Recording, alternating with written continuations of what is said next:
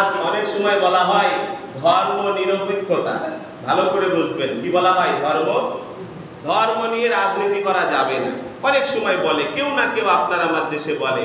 শোনেন, ধর্ম ধর্ম নিরপেক্ষতা একটা জায়গা যার নাম জাহান্নাম। কি নাম? ইহুদিও থাকবে। জাহান্নামে ইহুদি থাকবে না? খ্রিস্টানও থাকবে মদখরও থাকবে ডার্বিখরও থাকবে। ইয়াবাকর ফেন্সিডিলকর সবাই থাকবে। মুসলিমের মধ্যেও কিছু লোক। তাহলে ধর্ম নিরপেক্ষ জায়গার নাম কি ভাই? জাহান্নাম। যারা ধর্ম নিরপেক্ষতা বিশ্বাস করে রাজনীতি করেন, তারা জাহান্নামী দলের সাথে সম্পৃক্ততা রয়েছে। কারণ জাহান্নাম একটা ধর্ম নিরপেক্ষ জায়গা, যেখানে সাঁওতাল থাকবে, হিন্দু থাকবে, খ্রিস্টান থাকবে, বৌদ্ধ থাকবে, মুসলিম থাকবে।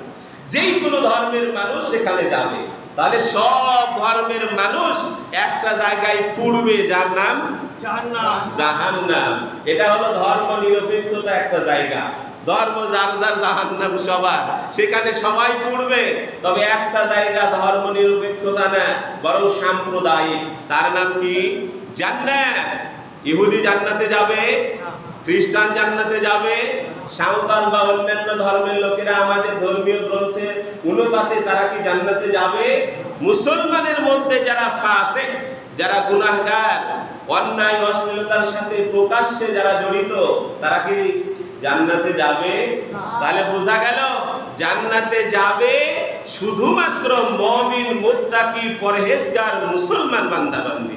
তাহলে জান্নাত একটা সাম্প্রদায়িক জায়গা। আর জাহান্নাম একটা কি বলেন? ধর্ম নিরপেক্ষ জায়গা। যারা বলেন ধর্ম নিয়ে রাজনীতি হারাম, তারা তো জাহান্নামের সাথে মিশে আছেন। জাহান্নামে যেমন সব ধর্মের মানুষ থাকবে, আপনার রাজনৈতিক দলেও সব ধর্মের মানুষ থাকবে। আর জান্নাত হলো সাম্প্রদায়িক। কি বলেন? জান্নাত কি? সাম্প্রদায়িক, শুধু মুসলিম শুধু মুসলিম না, মুসলমানের মধ্যে যারা মুত্তাকি, যারা পরহেজগার, যারা ঈমানদার, যারা আল্লাহওয়ালা, তারাই কিন্তু জান্নাতে থাকবে। এই জন্য এই কথা বলা যাবে না, আমরা ধর্ম নিরপেক্ষতায় বিশ্বাসী।